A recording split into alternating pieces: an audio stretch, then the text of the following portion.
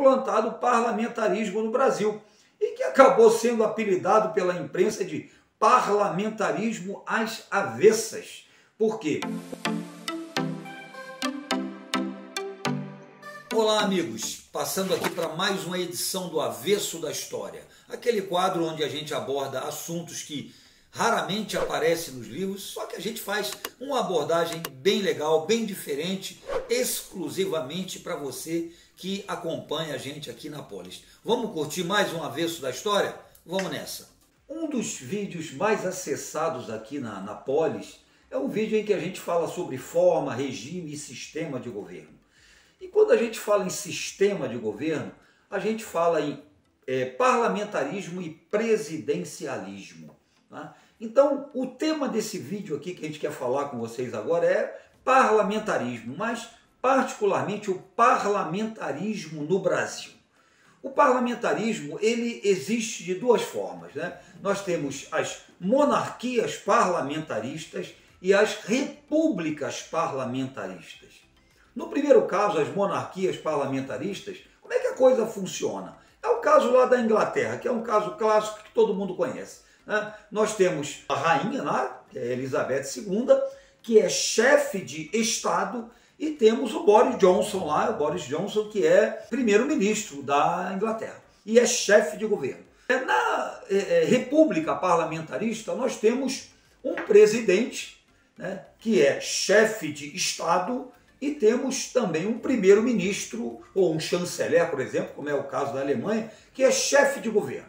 Ou seja, numa monarquia parlamentarista ou numa república parlamentarista, quem governa de fato é quem está à frente do parlamento, o primeiro-ministro. Né? É, o que, que acontece? Muita gente não sabe, mas aqui no Brasil a gente já teve duas experiências parlamentaristas, né? mas que foram um verdadeiro desastre. Né? Por isso que eu chamo de parlamentarismo à brasileira. As coisas aqui realmente né, têm dificuldade em funcionar. Né? O parlamentarismo na Inglaterra ele existe desde o século XVII, gente. Desde a época da chamada Revolução Inglesa, né, Revolução Puritana, depois veio a Revolução Gloriosa, né, que definitivamente colocou o parlamento acima né, do monarca.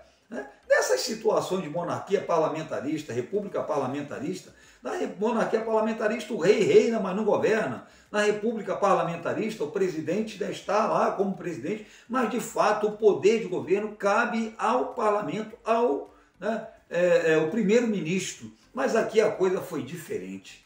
A primeira experiência parlamentarista que nós tivemos foi durante o segundo reinado, o período aí de governo do Dom Pedro II. Foi implantado o parlamentarismo no Brasil e que acabou sendo apelidado pela imprensa de parlamentarismo às avessas.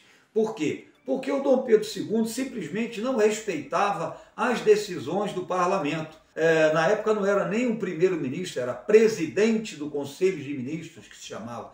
Então, quando o parlamento né, tomava alguma decisão que contrariava o Dom Pedro II, o que, é que ele fazia? Ele usava o poder moderador, que era um quarto poder que havia na Constituição, e dissolvia o Congresso, convocava novas eleições desse jeito.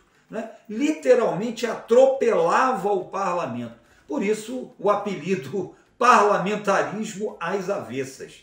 Né? De qualquer forma, a coisa durou até a República. E nós tivemos uma outra experiência parlamentarista no Brasil quando ocorreu a renúncia do presidente Jânio Quadros, em 1960. Jânio ficou poucos meses no governo, aí o vice dele era o João Goulart, que era um PTBista histórico, herdeiro político do Getúlio Vargas. Foi uma polêmica danada para ele assumir. O Congresso criou o maior caso, Carlos Lacerda, da UDN, fez uma campanha terrível né, para tentar impedir a posse do João Goulart, enfim, acabou se decidindo o quê? Criou-se uma PEC, uma proposta de emenda constitucional, e se implantou o parlamentarismo no Brasil. Não é?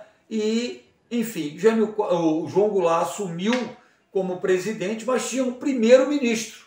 Né? o Brasil virou uma república parlamentarista. Primeiro-ministro que foi eleito foi o Tancredo Neves, ele mesmo, aquele que né, depois da redemocratização do Brasil, morreu antes de assumir, todo mundo já deve ter ouvido falar no Tancredo Neves, né? ele assumiu Ah, mas a coisa, a experiência parlamentarista nesse, nesse, nessa época foi catastrófica também. Nós tivemos vários primeiros ministros durante essa experiência parlamentarista, vários foram eleitos, não, a coisa não funcionou, tá? foi uma crise política realmente. Havia a, a previsão né, de uma, um plebiscito para dois anos depois o, a, o povo decidisse, queria que continuasse o parlamentarismo ou queria a volta né, do presidencialismo. Foi feito esse plebiscito. Ah, o Brasil, conforme eu disse, vivendo uma crise econômica terrível, uma crise política muito grave também. Houve o plebiscito e o povo optou pela volta do presidencialismo, sem parlamentarismo. Ah, e aí foi que o João Goulart assumiu. Assumiu, mas também não ficou no governo porque veio o golpe militar né, em 1964. Pode conferir aí, nós temos vídeos sobre o assunto. Resumo da ópera: a experiência parlamentar, as experiências parlamentaristas no Brasil, para variar, foram catastróficas. Tá bom, gente? É isso aí então. Gostou? Curtiu o vídeo? Deixa aí seu comentário, tá bom? Compartilhe com seus amigos, dá um pulinho no Instagram, deixe sua sugestão e também não deixe de se inscrever. Tá bom, gente? Beijão, até o próximo vídeo.